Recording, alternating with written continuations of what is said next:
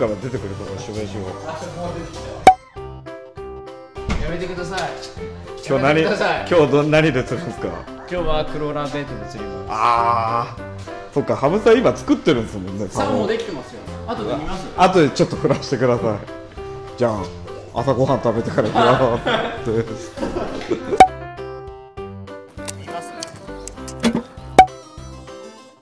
取材していいですかじゃあ？取材していいっすよよいしょ。これがエンジンの新しい羽物用は羽とフロッグとはい。うわ軽っ。軽っ。こんな軽いことになるんですか？3のハーフなんで。かああー63ハーフでビッグベイト。はい。ソリッドディープそう一番ちあのーなんだろう短いの欲しいなと思ってエンジンがエンジンじゃないやあれレジットデザインが6号じゃないですか、はで俺68買っちゃったんですよね。これ天竜の。はいはいはいはいはい海用で、はい。はいあでもさらに軽快だ。一応何オンスまで省エル設定で出るんです3オンスまで。3オンスっていうと Z プ 60g ぐらいまでのが気持ちよく使える竿はあつかすげえ。あこういうの使ってんだ。軽い。へえあで先端ちょっと入るようになってて。あこれだったら小技効きそうっすね。はあうまくいくとフィッシングショーで出ていつぐらいに店頭3に。月末3月末。はいあれ3本ぐらいなんか作ってません？そうです。あとは6点の H はい。と、えーとあとは SUL っていう竿を作ってスピニングで。ますはい。はあ秘密道具満載じゃないですか。ちょっとお昼ご飯とかで上がってたら全部盗むんで。じゃあちょっと上行ってみます。はーい。これが手だれ手だれ出ちゃう。よ手たれ。手だれなんだカッサカサだけど。それ。カッサカサだけどこれ。それがこれでビッグベイトだビッグベイトじゃないか。羽物。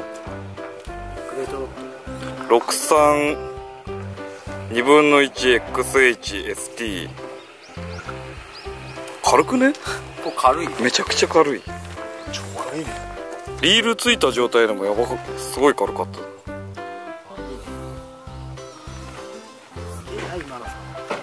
こんな軽くなるんですね。じゃあスーさんが。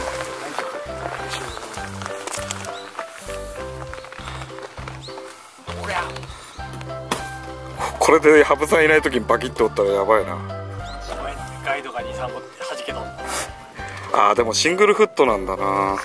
ゆうくんみたいに全員で無言になるから。ここまでここまでダボだったら。うこれにするだけで多分すげえ軽いんだよ。ーん。このその先っちょのガイドとか軽いのかダブルにすると全然違うんじゃない？でもこれだけだからね。うーんダブルにしたらいいもん。ねここも軽いような気するな。なんでこんな軽くなった？羽生さ。んこれ説明してくださいよこれ。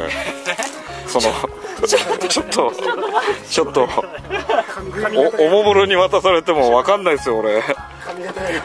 髪型が目目から下で打つねえちょっと待ってちょっとねバッテリーしまっちゃうから。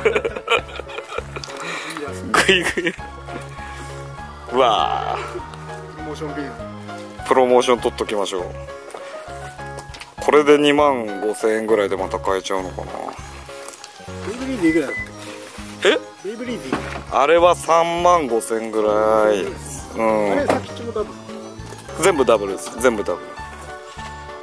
そう